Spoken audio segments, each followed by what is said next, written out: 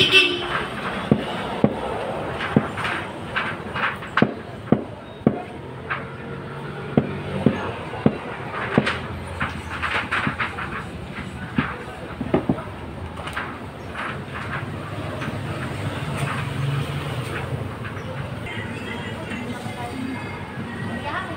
mga kumare.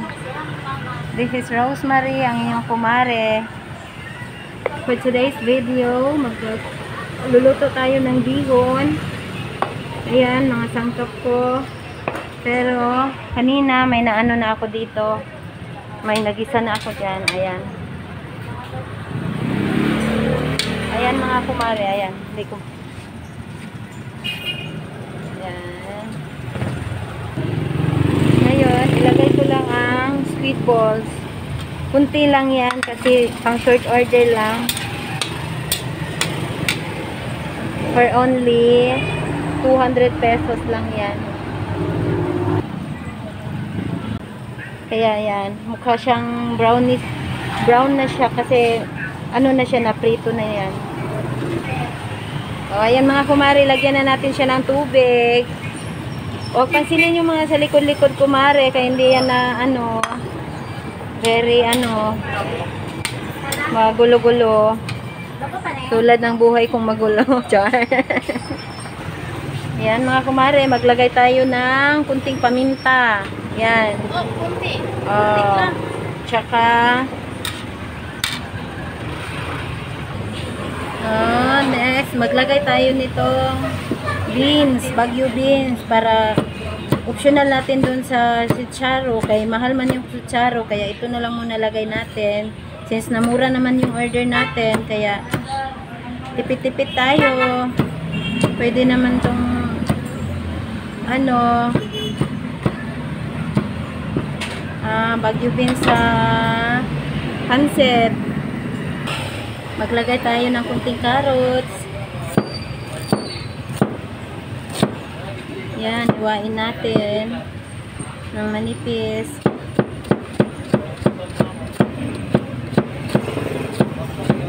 May order kasi kami ngayon na ano, food tray, kaya kita ko sa inyo. Ayan, lagay natin. Isahot na natin yan. Sa halo-halo lang. Para di masyadong maraming hugasan. Ayan. Kunting repulyo. Kunti lang din. Kasi kunti lang naman yung lulutuin natin. Ayan. Tsaka kalahati ng atsal. Ayan. Paghalu-haluin na lang yan. Para mas madali. Walang hassle sa mga lalagyan. Lagay tayo ng patis. Nilagyan ko na yan kanina ng tuyo. Kaya patis na naman. Yan. Huwag lang masyadong marami. Maglagay tayo ng chicken cubes. Kasi chicken yung ano natin. Yung ingredients.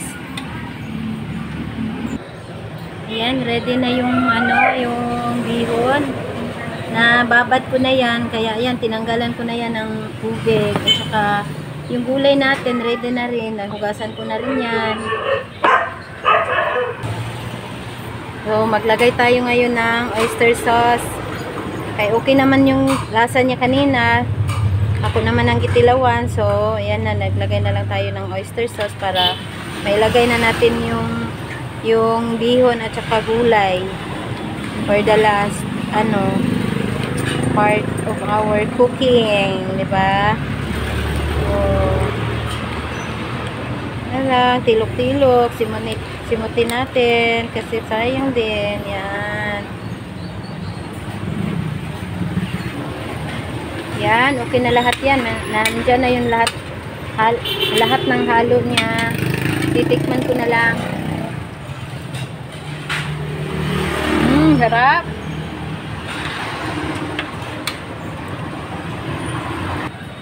Yan mga kumare, ready na yan. Lalagay na natin yung pansit. At saka, halo-haloin natin, kunti. Huwag lang masyadong ano, di ba parang, ano ako dito. kasi parang ano eh hindi ko kaya magwala wala na kamay kasi tuuman ga ginagamit ko yan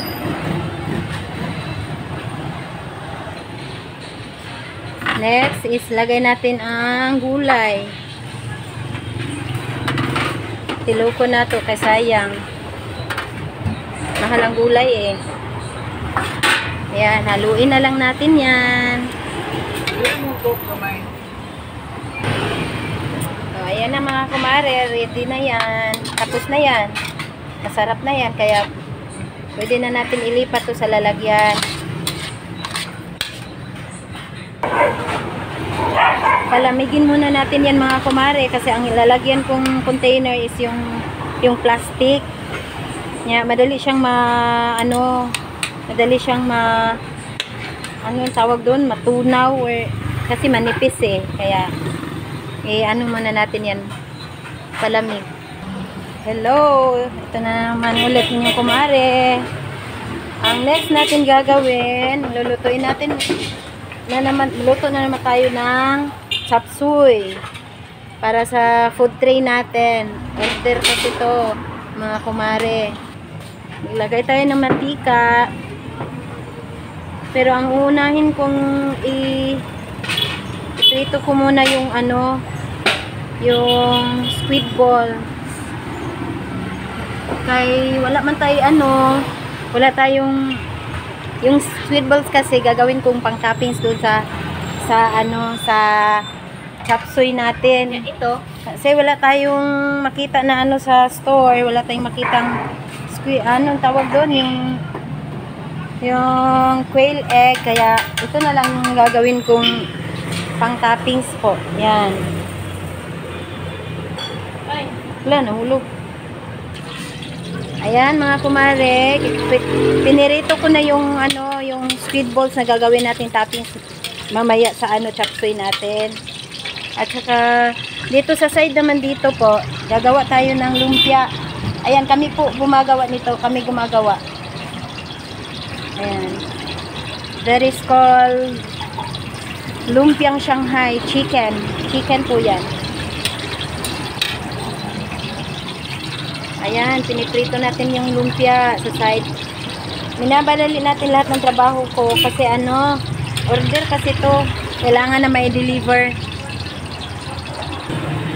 Ayan po, pinapainit natin yung mantika. At habang iinitin natin yung mantika, Paglitilim po tagamay kay murag liwat liwat sa tong dagway ning hugaw sa mga kilid-kilid.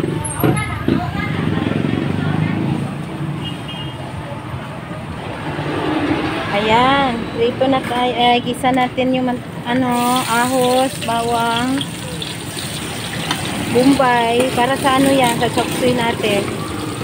Ayan. Lagay na lang natin din tong ano, atsal para maano na maisa na yan. Di ba? Madalian. Dali-dali. Sinampang kong ba style. Ayan, ang ginawa natin dyan sa ating lumpia ay anuhan natin na, wala, na. Ayan. Lagyan natin ng tubig para yung crispy niya, di siya madaling makunat. Crispy siya kahit matagal siya makain, o crispy pa rin siya. Ayan yung sikreto.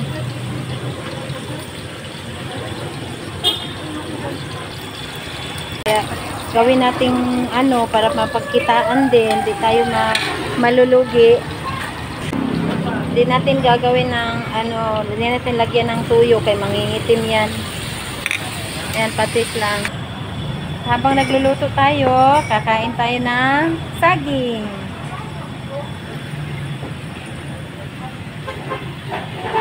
Wala pa ko panood to kaya gut na mukha na sa saging. Ayan, mga kumare, lagay tayo ng chicken cubes para sumarap ang luto natin. So next, ilagay natin tong gulay na ano, yan, mga sari-sari na yan. Itong gulay pala mga kakumare na ano ko yan kanina. Bali, pinakuluan ko na yan para di siya madaling malata. Malata manggod siya pag, ayan, lagay na natin. Hala, ba't ang dami? Dami niyan. Ayan, sayang. Ayan mga kakumare, lagyan natin ng konting tubig para may sabaw-sabaw naman siya. Kasi ang masarap dito yung ano niyan. Teka lang, kunin ko to. Sarap yung sabaw. Maglagay tayo ng North Seasoning para ah, may um, ano, mabango at saka malasa siya. Yan, patak-patak lang. Patak-patak, patak-patak. Kumusta, kumustahin natin yung ano natin lumpia. Ayan na. Malapit na siya mal, ano na. Luto na yan. Ayan yung niluto na, natin kanina. Yung niluto natin kanina doon. Ayan, nakuha na pantanggal na. Ayan, pina, pinatulo mo na yung matika para di siya mag-oily.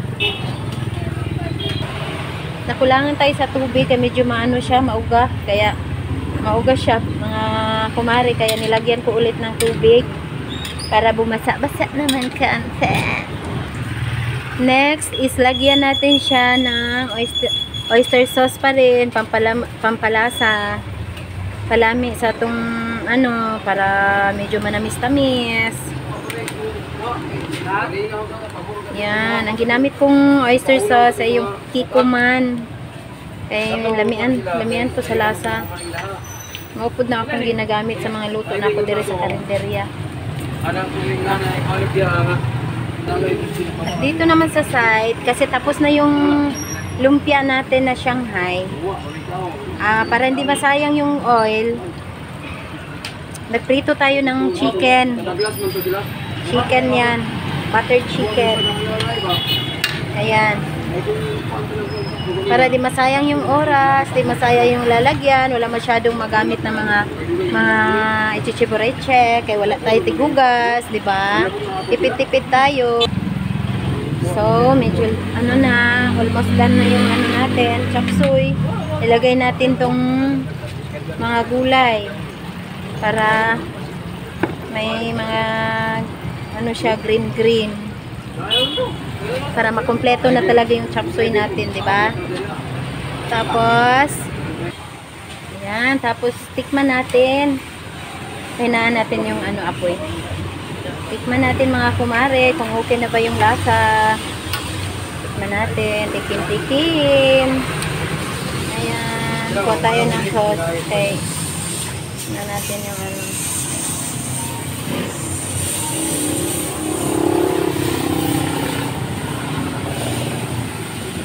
Mmm, ang sarap. Makalimot na sa itong pangalan. sarap nga. Talaga. Kalimot na sa itong mga utan sa kalame. Ayan na, ready na yung chapsuy natin. Pero, palamig-lamigin muna natin para yung plastic di siya matunaw or di siya mangangamoy plastic. Kaya, ayan, palamigin muna natin bago, nat bago natin na. ilipat. O, na, kamustahin natin yung chicken dyan. Ayan yung chicken natin, parang chicken joy. Oh, di ba? Patikim ko sa inyo mamaya yan. Char. oh, ayan, nagkain na yan siya. Kumusta ang lasa, madam? Uy, nalibat siya sa kalami.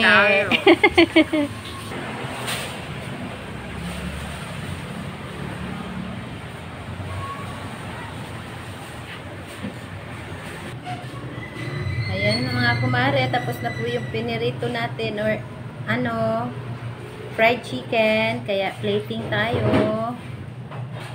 Ah, i-arrange na nato itong mga niluto para ma-deliver na.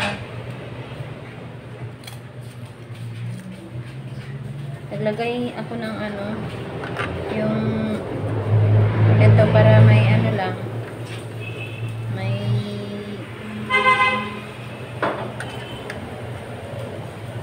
konting attract. Yan. Habang nag ah, nag-arrange ako, mga kumare, kain ako ng ito, lumpia, chicken lumpia. Mm, sarap. Sarap na sarap. super lami.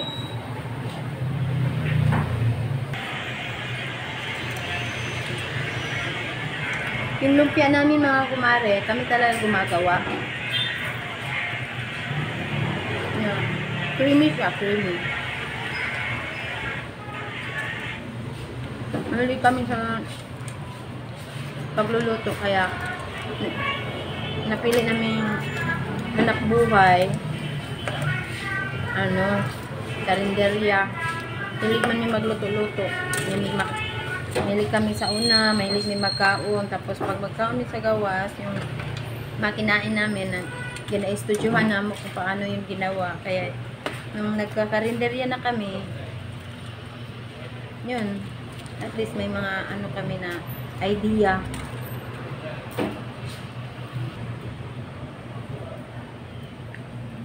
Ayan na guys. Ayan na mga kumare. Tapos na yung um, ano natin, yung mga food tray natin. This is um, beef. Beef na Ludi. beef steak. Loading, loading. Um, kuan, bihon, Lumpia. lumpia, chicken joy, nga kaning unya kaning chapsoy. Kaning chapsoy. Kaning chapsoy ug bihon ang akong isug sumbak ana mga kumare kay pinirito nga chicken. Lami man gud ang pinirito nga chicken kay kuan malasa siya. Malasa. I-try nyo mga kumare. Pag luto kayo ng gulay or something na Eh. magsubak-subak mo, i-try ninyo ang piniritong manok. Kung gusto ninyong manok ang ang inyong i tuan, subak, try ninyo. Yan, yan, mga kumare, ready na to deliver. Ngayon kamot kay para makapamugas ta. Yung ano namin, yung, ah, yung ano namin, ulam dyan na baligya, mga takos-takos, sumana. Kapa, huway namin kay naurot na. Mga, i, kanina po, pag sa hapon, pag na mga order, ano yung mga trabaho. Ayan mga kumare, doon nagtatapos. Dito nagtatapos ang pagluluto natin, yung mga pinapakita ko sa inyo. Kung paano lutuin yung mga ano namin, food tray, na simple lang. Pinubre, pero ano siya, masarap naman. Kaya, diri na naman atong video. Na ano, na tutorial. tutorial di ba maraghaw. Ah, kung kinsa tong ganahan mo tanaw sa video, eh, eh, ato lang sa akong channel, Rosemary Dizon po, inyong kumare. Kunya, kung kinsa po tong ganahan mag-order sa mong food tray, just PM o anang order lang mo, message lang sa gustong mag-order. O salamat di ay sa mga suki nga nagbalik-balik. Thank you kaayo. Thank you Lord sa mga grasya. O, diri lang na human atong video guys. Thank you for watching. And um, hintayin nyo na lang yun, yung next video ko po.